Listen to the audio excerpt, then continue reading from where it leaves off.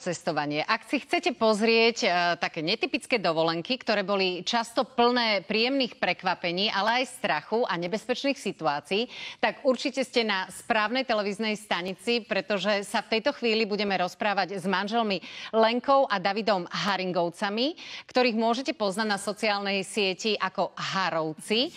A títo ľudia mladí zaznamenávajú svoje netradičné uh, dovolenkové zážitky práve na tej sociálnej sieti, ale aj na YouTube kanály. O tom všetkom sa budeme rozprávať. Vítajte. Ďakujeme. Ďakujem za Ja som veľmi rada, že ste prijali naše pozvanie. Na Slovensku ste len pár hodín, je to tak? A prečo?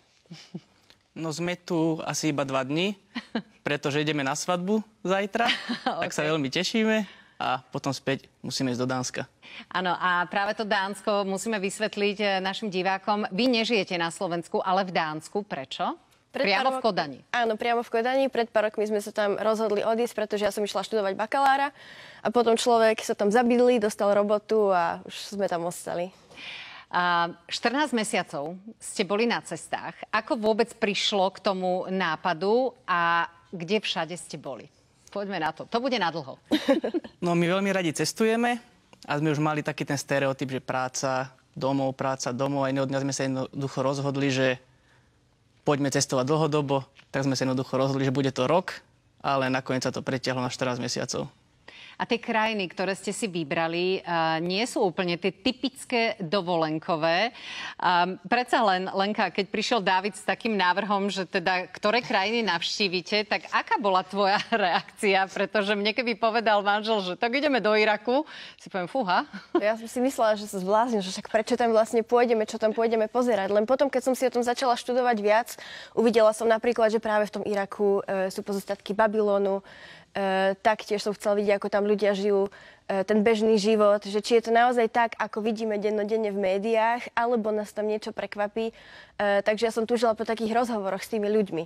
Takže... Ja som si vybrala uh, Irak ako teda tú prvú krajinu, pretože tá medzi bežnými smrteľníkmi naozaj uh, je, je, je taká trošku opradená uh, strachom. Aký je ten váš pocit z krajiny? Koľko, koľko ste tam strávili času? Čo ste zažili? No my sme v krajine boli dva týždne a musíme povedať, že bolo to málo, pretože tá krajina ponúka strašne veľa od histórie, ale hlavne sú tam strašne dobrí ľudia, skvelí. Nás tam pozývali do reštaurácií, taxikári nám neseli peniaze absolútne, pretože boli radi, že sú tu turisti. Takže bolo to také veľmi zaujímavé. Ďalšia krajina, ktorá vám prirasla k srdcu, je ktorá krajina? Kde ste sa potom vybrali? Uh, ďalšia krajina, ktorá sa veľmi páčila, bol Pakistan.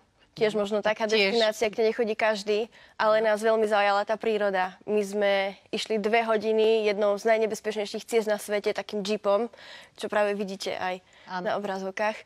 A dostali sme sa do údolia, ktoré sa volá Fairy Meadow a mali sme na dlani 8 tisícovku Nanga Parbat, čo je deviata najvyššia hora na svete. No a žili sme tam v takej jednoduchej chatke, nemali sme ani teplú vodu, ani sme si nekúrili. Snežilo nám tam, takže boli to také drsnejšie podmienky, ale ten výhľad to stalo naozaj za to. Čiže ste si vyskúšali taký ten nomádsky spôsob e, života podľa toho, čo vy hovoríte. No a čo sa týka toho nebezpečenstva e, na cestách, keď nás teraz niekto sleduje, kto by chcel nasledovať vaše kroky, tak je to tam naozaj také nebezpečné? Samopaly, niečo? E, To záleží v akej časti krajiny. My sme konkrétne boli na severe a tá sa považuje, za celkom bezpečnú, takže tam máte množstvo turistických tria- trás, vybudované hotely sú tam, taktiež množstvo turistov sme tam stretli. Napríklad stretli sme tam jeden maďarský pár, ktorí mali cez 80 rokov a sami cestovali po Pakistane a nevedeli ani slovičko po anglicky, iba, sa, iba komunikovali cez e, Google Translator. To je úžasné. Takže áno. A mňa teda zaujíma, ako si vy plánujete tieto cesty, ako dokážete tak dlho vydržať spolu 24 hodín, či nedochádza k nejakým eh, hádkam medzi vami napríklad a v prípade, že áno, tak čo s tým? Dá sa to prežiť? Evidentne áno, keď ste tu. Áno, tak mali sme také podelené úlohy, že David v podstate rezervoval hotely a taktiež si robil taký malý výskum, že ktoré veci navštívime. Ja som mala skôr na starosti nejaké reštaurácie alebo tú logistiku, že ako sa dostaneme z bodu A do bodu B. No a možno taký typ, že keď je človek na dlhodobom cestovaní, jeden alebo dva dní v týždni, my sme mali také oddychové, že ja som aj pracovala na čiastočný úvezok, takže celý deň sme boli na hoteli, urobili sme si administratívu, alternatívu, oprali sme si veci, taktiež sme sa troška zrelaxovali. Mali sme taký víkend od toho Áno, cestovania. v Pakistane napríklad, alebo, alebo teda v Iraku. Alenka má otázku. Rýchlo, že a ako vyberáte reštiky napríklad v takom Iraku? Existujú naozaj, že recenzie od turistov, sem ísť, tam neísť, alebo e, na základe čoho to jednoducho vyberáte? Práve, že to ani nie, my sa pýtame lokálnych ľudí. Kam sa chodia radi najesť a vždy nám odporúčia nejaké Čiže uh, idú pred všetky mobilné zariadenia, aplikácie a fungujete tým, že sa jednoducho opýtate. Áno, pretože často sme napríklad nemali ani internet, ani signál, tak sme sa iba pýtali lokálnych, čo nám tak vedia odporúčiť. A práve kvôli takýmto radám, akú teraz David poskytol Alenke, eh, by ste mali sledovať eh, týchto mladých ľudí, Harovcov, pretože každú jednu tú destináciu, ktorú ste prešli, ste zmapovali. Existujú o tom teda normálne krátke filmy. Eh, O ďalších krajinách, ako je napríklad Laos, alebo teda Kyrgyzsko, kde všade ste boli, tak o tom sa budeme rozprávať o malú chvíľu, takže ostaňte s nami, ak vás zaujala táto téma.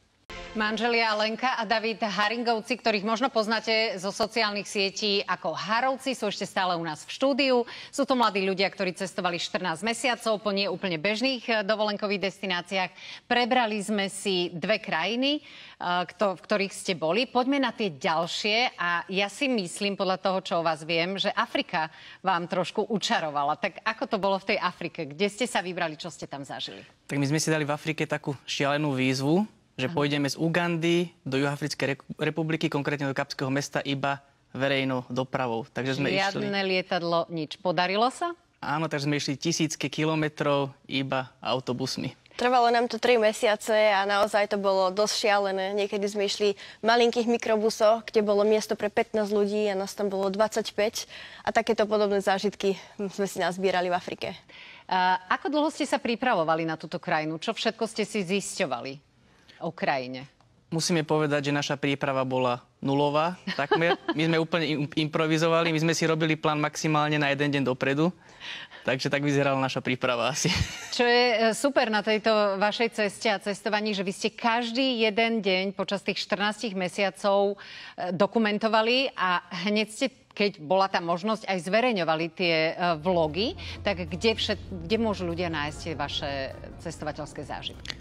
E, Naše videá môžu nájsť na YouTube, voláme sa tam Harovci a my sme taktiež dokumentovali e, celú našu trasu od prvého dňa až po posledný deň, takže nebol jeden deň, keby, keby sme nenatáčali. Afriku mnohí ľudia, ktorí nás sledujú, poznajú z takej tej komerčnej stránky. To znamená, že si zaplatia zájazd a navštívia safari. Vy ste kde všade boli a e, čo bolo pre vás také najväčšie prekvapenie a zážitok zároveň? V Afrike? Určite v Ugande sme pozorovali vysokohorské gorily, to bol zážitok na celý život. Potom v Tanzánii sme sa vyšpohali na samotné Kilimanjaro, strechu Afriky. Vy ste aj horolezci, že ste vyšlapali teda na to Kilimanjaro, lebo tam e, to môže byť aj celkom nebezpečné, výšková choroba, alebo nie? Zažili sme si troška aj výškovej choroby, ale nie, nie sme horolezci. Tanzániu sme mali po ceste, tak sme si povedali, že prečo nie. My sme už kedysi boli v Tanzánii a tá krajina sa nám veľmi páčila, tak sme si povedali, že teraz si ju pozrieme z takej inej perspektívy. No a- náš najvyšší, najlepší horolezecký výkon bol Krivaň dovtedy. Do, dovtedy, kým ste si rovno e, dali, že Kilimanjaro. Áno, Áno, áno. Dobre, tak e, áno, odvážni ste to ľudia, evidentne. Dobre, tak toto je tá Afrika, ktorá na vás tiež e, veľmi zapôsobila. Ďalšia krajina, ktorú ste navštívili, alebo ostrov, ktorý vám ostal v srdci? Tak ten Laos, ten, Laos. Uh-huh, ten nás veľmi očaril, pretože je to také ihrisko pre dospelých a je to taká zabudnutá krajina uprostred Vietnamu, Kambodže a Thajska a málo ľudí sa tam dostane a je taká autentická, že naozaj nie je ešte vybudovaná pre tých turistov. E, David, trošku vysvetlíme to spojenie, že ihrisko pre dospelých, nie sú tam, že kasína alebo niečo, lebo to si podľa mňa človek bežný 21.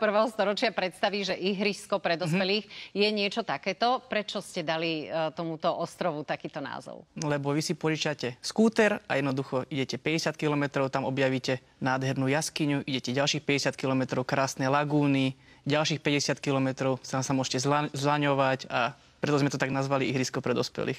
Úžasne ste to nazvali. A posledná otázka, alebo teda predposledná otázka, máte to určite spočítané, to je niečo, čo ľudí zaujíma. 14 mesiacov vás na osobu mesiac vyšiel v akej sume? Približne okolo 1300 eur. Tak ste to počuli. Nie je to až tak veľa, si myslím, tých 1300 eur Ďakujem veľmi pekne, že ste prišli. David, ty máš dnes narodeniny, tak všetko najlepšie. Ďakujem. A povedz prosím ťa našim divákom, kde vás môžu ľudia sledovať a vidieť uh, tieto vaše zážitky. Ako sme spomenuli na YouTube, tam sa voláme Harovci a na Instagrame tiež Harovci. Pekný deň vám prajem. Ďakujem. Ďakujeme.